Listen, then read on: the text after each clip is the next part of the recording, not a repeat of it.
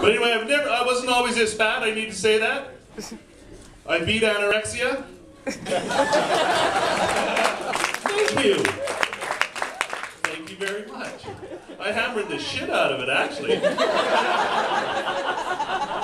I grabbed it by its scrawny little neck and twisted, and then stomped it around the ground and mixed it around and put it in mashed potatoes with gravy and butter, and I ate it. And I killed it. But I fight it every day.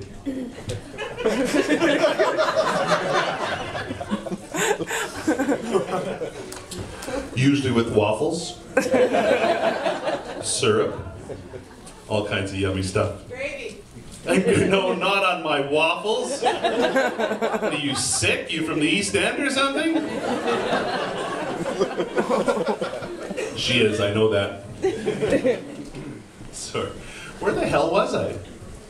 Oh. So I went to a, a flea market yesterday.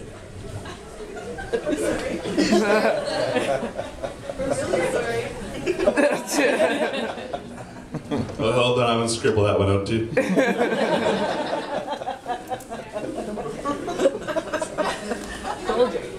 Flea market gone. But anyway, so the black thing. I need to say I screwed up when I was dressing. That's why my ankles. That's why my ankles look fat. But ladies, these are size 14 shoes.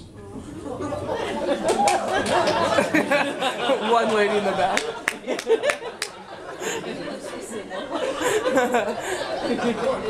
Fourteen.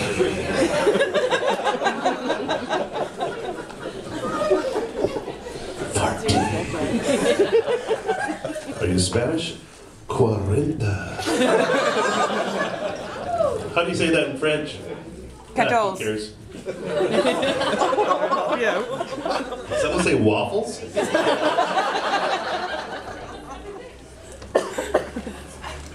but yeah, I'm from Prince George, fashion capital of the world, Woo!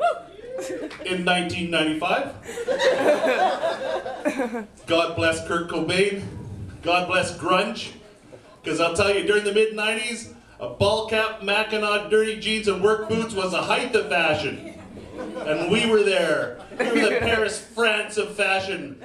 Except we'd won a war. Get it? Paris, France never won a. Fuck you guys. Please check your level of education. and now I'm offending them. But Prince George, we're more culturally diverse. I went out and I saw a um, saw a Persian band. Anybody ever heard Persian music? You have Persia, uh, Iran, Iraq, Saudi Arabia, right? And I need to say that I now have a better understanding of the Arab world. It's it's bringing us together. Has anybody ever heard Persian music out there? Yeah. A couple of you. Anybody like it? Two of you. I, and if, for those of you who haven't heard it, I need to describe it. It's something like. It sounds to me like someone is killing a cat. Bear with me.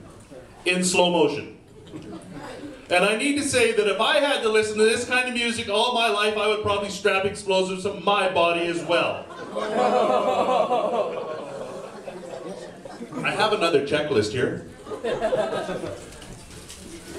Catholic priests, Muslims, fat people, and anorexics. I'm almost finished, if you'll bear with me one more. And, and, and, uh, but Prince. I can't work like this.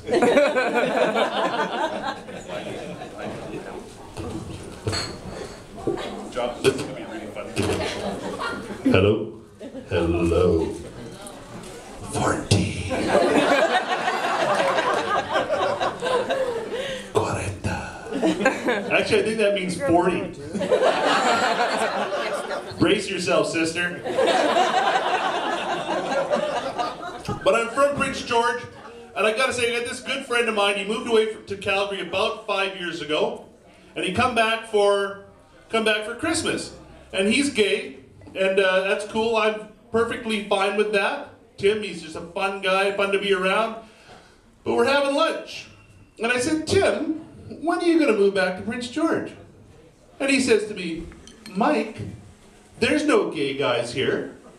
And I said, Tim, because that's his name, 14. I said, Tim, we have five Starbucks. There's lots of gay guys now. Sorry, Ivan, I, and I mean nothing by that. It was in the act long before this came about. And the nice thing about Starbucks is you can tell the gay guys in Prince George because they're the ones not wearing the ball cap, the Mackinac, the jeans, and their dirty boots. That one died too. They're not a gay Catholic Muslim priests in here. Good thing I didn't get into bulimia, eh? Huh. I didn't. Lay off. Anyway, I'm just going to leave you with this. Uh, thank you so much for uh, to Lafflines. Leave you with this world-building thought. It takes a village to raise a child, but it takes a fire to raise that village. Good night.